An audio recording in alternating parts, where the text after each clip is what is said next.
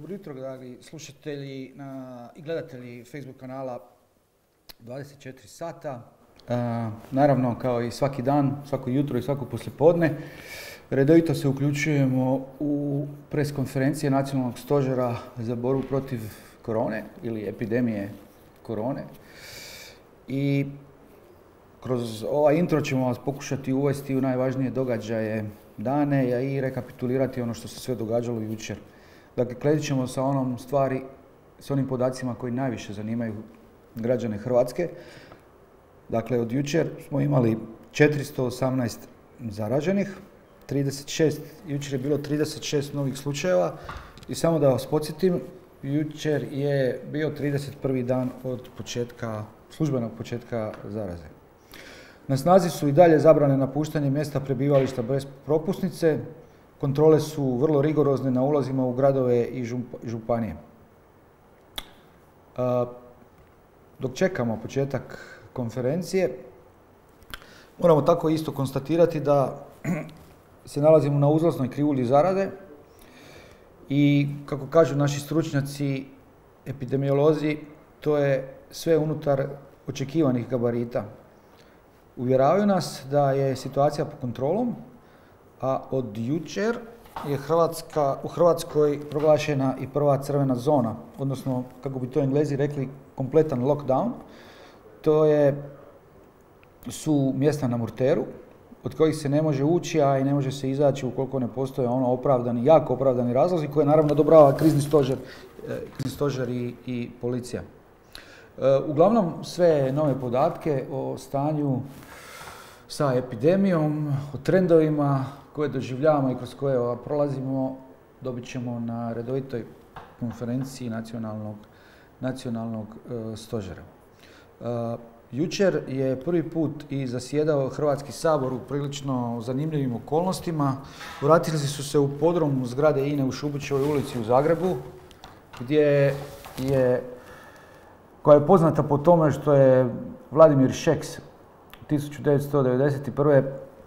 godine proglasio prekid svih ustavnopravnih i političkih veza sa tadašnjom e, SFRJ. E, raspored sjedenja je bio onako kao u ultra biznis klasi Lufthansa, razmaci između sjedala, sjedalice su bili golemi, da bi se prevenirala mogućnost, mogućnost zaraze. Naime, kao što znate, u potresu koji se zbio prošle nedjelje, rano ujutro, Teško je oštećena zgrada Hrvatskog sabora, kao i stotine drugih zgrada u središtu grada, pa je sabor kao takav neprikladan, odnosno stručnjaci i statističari su proglasili da se ne može da ne može se održavati sjednica. Evo, krenula je naša konferencija. Hvala vam na pažnji. Dobro jutro. Otvaram još jednu konferenciju za medije Stožera civilne zaštite Republike Hrvatske.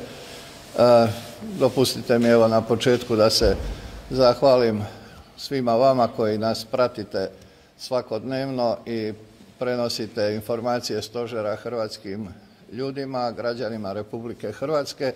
I također da se zahvalim svim onim građanima koji poštuju mjere i odluke stožera jer e, to je ponašanje kakvo želimo vidjeti ne zbog nas već i zbog e, svakog pojedinca u Hrvatskoj i zbog e, nacije u cjelini. A evo sad za početak molim ministra Beroša da nas upozna sa najnovijim podacima iz e, zdravstvenog sustava.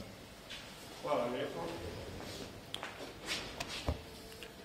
Želim vam dobar dan. Dakle, u odnosu na jučer u 16 sati broj pozitivnih novih bolesnika je 39, što znači da ako kompariramo povećanje od jučer u 9 ujutro imamo ukupno 63 novih potvrđenih bolesnika, što znači da i dalje držimo situaciju pod kontrolom, da nema eksponencijalnog rasta broja zaraženih. To je u ovom trenutku od iznimne važnosti i nadamo se da ćemo našim mjerama zadržati taj, to povećanje. Ukupno je jučer testirano 3958 sumnjivih bolesnika, a potrebno je naglasiti da samo u jučerašnjem danu je izvršeno 566 testiranja, što ukazuje da su drugi pokrenuti kapaciteti u funkciji i da se iz dana u dan povećava broj testiranja uz naravno poznate indikacije koje se sada nismo mijenjali. Danas imamo na respiratoru 14 bolesnika, 8 u infektološkoj klinici Fran Mihaljević, 3 u Osijeku, 1 u Rijeci, 1 u Splitu i 1 u Dubrovniku. Ukoliko pogledamo broj bolesnika na respiratoru u odnosu na broj zaraženih bolesnika, dolazimo do informacije da je 3% takvih bolesnika za sada na respiratoru, što je ponovno još jedna zadovoljavajuća vijest jer projekcije su naše bile da će se raditi od oko 5%. U ovom trenutku je to tako i pokazuje se kao i u Kini i Italiji da većina onih koji završe na respiratoru su bolesnici starije životne dobi i sa drugim komorbiditetom odnosno drugim bolestima. Ono što također želim izvijestiti jutros da je iznimno pozitivno i važno da su svi liječnici, sestre, tehničari i pacijenti koji su bili u kontaktu sa zaraženima u jedinici za intenzivno liječenje Kliničkog bolničkog centra Sestre Milosrdnice negativni, znači nisu pozitivni, stoga me ravnatelj Zovak jutros izvijestio da je njihova jedinica za intenzivno liječenje u punoj funkciji i nadalje. I uz zahvalu svim ljudima koji žele donirati i pripomoći zdravstvenom i drugim sustavima u ovom trenutku želim reći sljedeće. Od iznimne važnosti ta solidarnost i vaš suport, međutim da bi pravilno raspodijelili resurse koji su ipak ograničeni, potrebno je da prije donacija kontaktirate ljude koji se time bave, da bi upravo na taj način adekvatno rasporedili resurse. Osoba koja se time bavi je doktorica Maja Grba Bojović, stoga molim da je kontaktirate. Jer evo, iz najbolje namjere jučer su se počeli prikupljati grijalice za KB Dubrava za onaj ekspedicijski kamp, međutim to nije potrebno jer su ti šatori grijani. Stoga vas molim da vašu dobrotu i pomoć kanaliziramo na najbolji mogući način, a to je upitom što nam u ovom trenutku najviše treba, a to najbolje doktorica Maja Grba Bujević zna, stoga vas molim da je kontaktirate, ona je svima dostupna kao i cijeli stožer civilne zaštite. U ovom trenutku od mene toliko. Hvala vam. Dobar dan, želim svima. Evo nekoliko e, podataka e, dodatno epidemiološki nastavno na ovo što je rekao ministar Beroš. Dakle, mi imamo u zdravstvenom sustavu 19 liječnika specijalista koji su pozitivni, imamo šest specijalizanata, sedam medicinskih sestara i tehničara i dva stomatologa. Prosjek, dobni prosjek oboljelih, dakle oboljeli su prosječne dobi i dalje od 49 godina. U samoizolaciji imamo 18.601, E, dakle, to je nešto manji broj od onoga što je bio jučer, ali to je posljedica toga što je prošlo već neko vrijeme pa ljudi izlaze iz samoizolacije. Imamo 2437 kontakata e, koje intenzivno epidemiološki nadziremo i imamo 546 zdravstvenih djelatnika koji su u samoizolaciji. Hvala vam.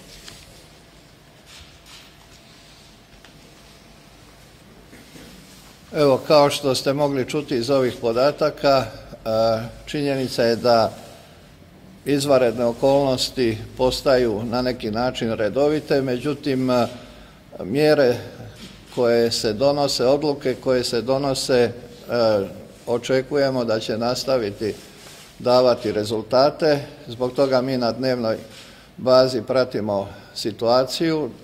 Ono što je važno, svi koji nisu u nužnim službama moraju polako usporavati ritam kako bi se i resursi i energija sačuvali za one koji su najvažniji u ovom trenutku, a to su zdravstveni radnici, policija, trgovine koje opskrbljuju naše ljude, dakle ljudi koji rade u zaštitarskim službama koje također ne smijemo zaboraviti u ovom trenutku. Dakle, poruka građanima je vi budite doma i neka to bude vaš dio posla i zadaća u ovom trenutku, a mi smo tu da radimo sve što je moguće kako bi ovu situaciju i dalje držali pod kontrolom. Iskoristio bi priliku i reći e, samo da je jučer u Zagrebu su vatrogasci imali 220 tehničkih intervencija jer e, posao nošenja s posljedicama razornog potresa e, ne može stati. Oni rade na uklanjanju strijepova, betonskih blokova, oštećenih zidova kako bi se smanjila opasnost e, za građane.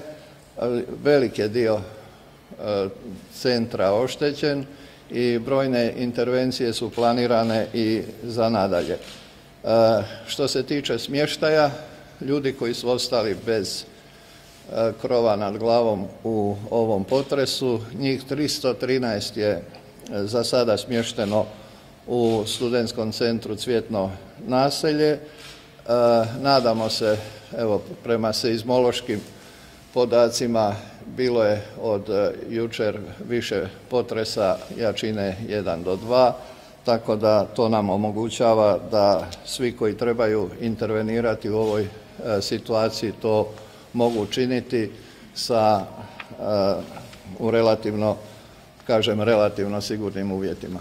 Evo za sad bi zamolio glavnog ravnatelja policije da da par podataka vezanih za policijski sustav. Dobar dan svima. Evo, e, ja bih sad e, istaknuo da smo jučer dakle, dobili potvrde od epidemioloških službi, da imamo i prva dva slučaja policijskih službenika, znači koji su zaraženi novim koronavirusom. Međutim, ja bih želio istaknuti da policijski sustav i policijski službenici i službenice od prvog dana su najveća potpora zdravstvenom sustavu i stalno su dakle izloženi, stalno su u različitim postupanjima, različitim sigurnosnim događajima, tako da smo mi stalno i provodili preventivne mjere u suradnji sa e, zdravstvenim sustavom, odnosno epidemiološkim službama. I naši službenici su dakle i u mjerama samoizolacije, tako da imamo i sada znači oko 90 policijskih službenika u mjerama samoizolacije i za ova dva policijska službenika rađena su i testiranja kada su se pojavili prvi simptomi i bili su negativni. Međutim, nakon nekoliko dana evo imamo dakle potvrdu da su pozitivni, tako da poduzimamo sve mjere u policijskom sustavu. Ja bih želio zahvaliti svim policijskim službenicima i službenicama na požrtvovnosti cijelo ovo vrijeme i u provedbi svih ovih mjera koje se provode. Jer policijski sustav svakodnevno znači je radi na svim sigurnosnim događajima, provodi sve ove mjere koje se donosi nacionalni stožer i vodimo računa o svim epidemiološkim mjerama. I ova dva slučaja policijski službenici su dakle i već i bili u mjerama samoizolacije i tako da sad se provode epidemiološki izvidi i e, nema veći broj osoba u kontaktima sa, e, sa zaraženom osobom. Također e, moram reći da evo i dok mi tu imamo preskonferenciju, policijski službenici postupaju u cijeloj Republici Hrvatskoj, ima različitih sigurnosnih događaja od nestanaka osoba, od e, različitog kršenja javnog reda i mira gdje policajci požrtvovno rade. Ja im zahvaljujem, čestitam na svemu što su i do sada učinili i što čine, tako da je uvijek moguće da su u kontaktu sa osobama koji imaju sumnju na koronavirus, međutim mi uvijek tada poduzimamo sve mjere da samozaštite i one preventivne mjere u suradnji sa e, nadležnim epidemiološkim službama. Evo, hvala lijepo.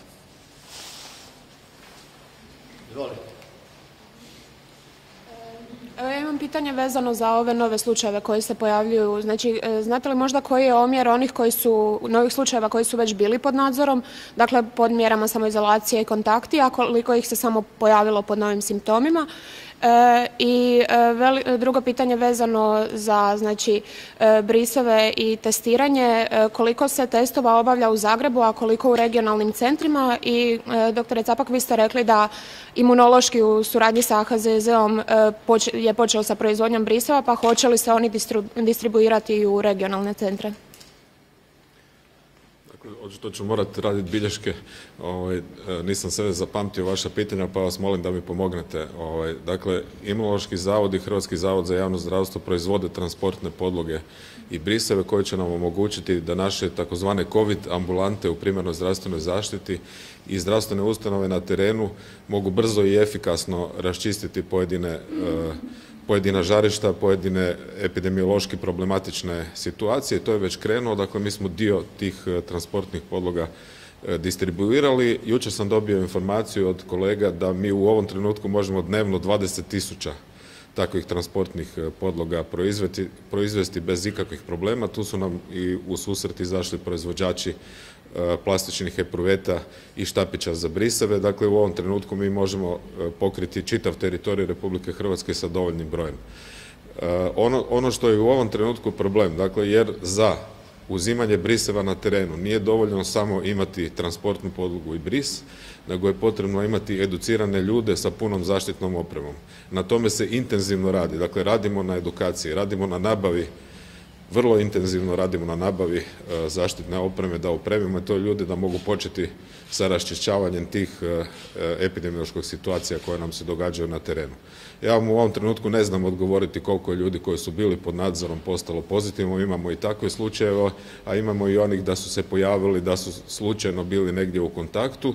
Jučer sam dobio informaciju od mojih epidemiologa da imamo i nekoliko slučajeva za koje ne možemo utvrditi na koji način su e, bili zaraženi, ali svi njihovi daljnji kontakti su pod epidemiološkim nadzorom i nastavimo stvar držati pod kontrolom.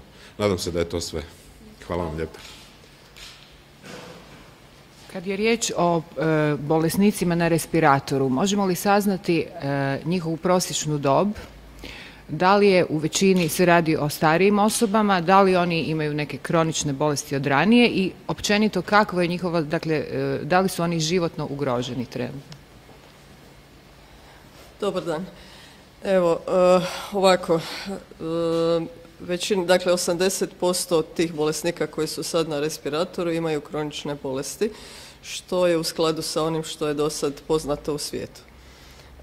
Nešto su niže dobne e, strukture za sada, e, oko 61 ili dvije godine, e, zbog toga što smo i imali mi u općoj našoj populaciji veći broj inficiranih među takozvanom mlađom srednjom populacijom koja je u stvari bila radno aktivna ili je radila u susjednim zemljama ili su zbog potreba posla ili nekakvih rekreativnih e, aktivnosti bili u inozemstvu. Tako da je to očekivano. Dalje sad, kako smo zatvorili granice i sve, e, očekujemo da će među teže oboljelima rasti E, postotak osoba starije životne dobi. Zato još jednom evo lijepo molim i upozoravam da svi pomognemo osobama starije životne dobi da se ne kreću po vani, pogotovo nam ne odlaze u trgovine i slična mjesta gdje oni mogu biti jače izloženi.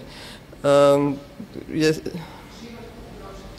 Životno ugrožen je na neki način svatko tko je na respiratoru intenzivnoj jedinici. Rekla sam vam da e, u klinici za infektivne bolesti da imamo iznimno iskusan tim, a koliko je meni poznato, jer nisam